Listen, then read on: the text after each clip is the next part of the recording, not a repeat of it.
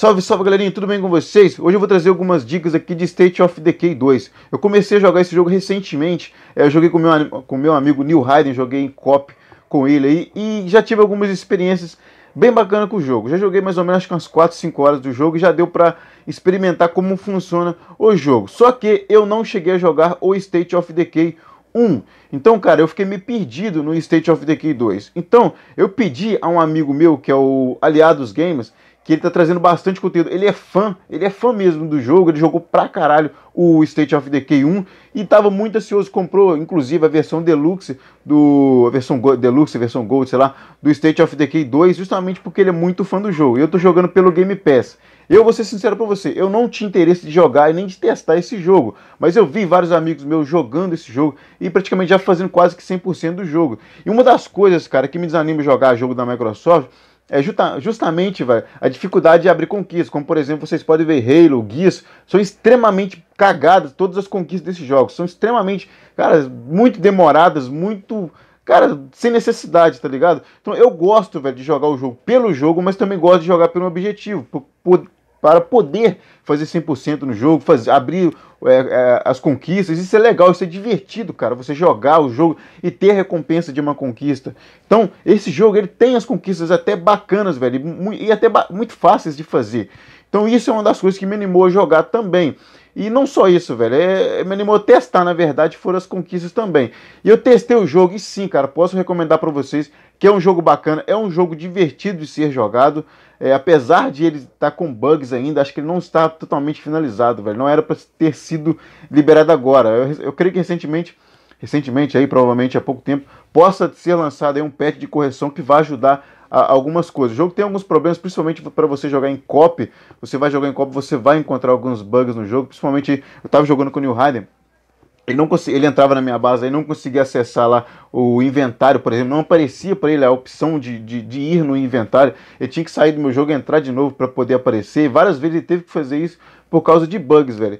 E, cara, isso é uma coisa que atrapalha a jogatina da gente. Mas, cara, o, o, geral do jogo para você jogar é muito divertido. Mas, como eu já disse, eu não joguei o jogo, o 1, por exemplo, então eu não tenho a manha de como funciona, porque são muitas informações, são muita coisa que você tem que fazer, que você tem que gerenciar no jogo. Então eu pedi, como eu falei para vocês, eu pedi algumas dicas de como funciona o jogo, de como jogar o jogo é, para que vocês entendam e também tem interesse, você que aí não testou o jogo até agora, tem interesse de testar, porque provavelmente você vai curtir e vai gostar muito. Então eu pedi essas dicas para o Aliado Games e vou deixar aí o vídeo dele rolando para vocês agora e com as dicas que ele passou pra gente. E caso você tenha interesse de aprofundar mais, porque são muitas coisas bacanas que tem no jogo.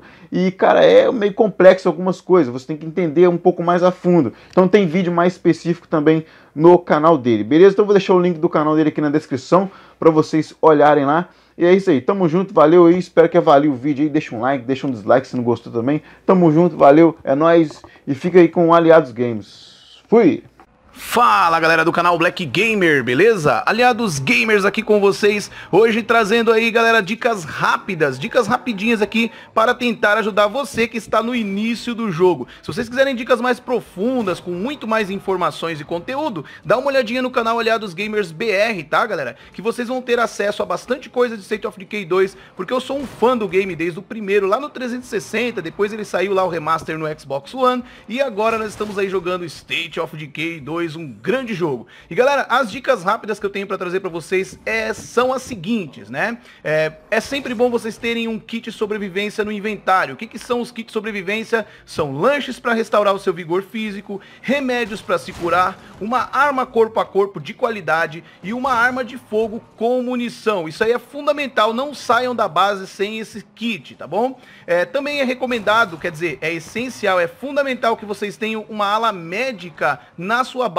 para criar a cura da peste sanguínea, que é uma nova doença que surgiu no jogo aí, tá? Alguns zumbis vermelhos podem te infectar e ao, estar, e ao estar infectados, vocês só podem ser curados dessa peste sanguínea se tiver um remédio próprio para ela que só dá para criar quem tiver uma ala médica, tá bom? E além disso, quando você está ferido, você basta deixar os personagens descansando, se você tiver uma ala médica, e eles vão simplesmente se curando gradativamente. Outra coisa também que eu quero trazer para vocês aqui, para vocês terem como essencial aí no jogo de vocês, é ter um ou mais carros na sua garagem. Sempre levem carros e deixem lá na sua garagem. Carros nunca é demais em State of Decay 2, tá? Uma regra básica de sobrevivente.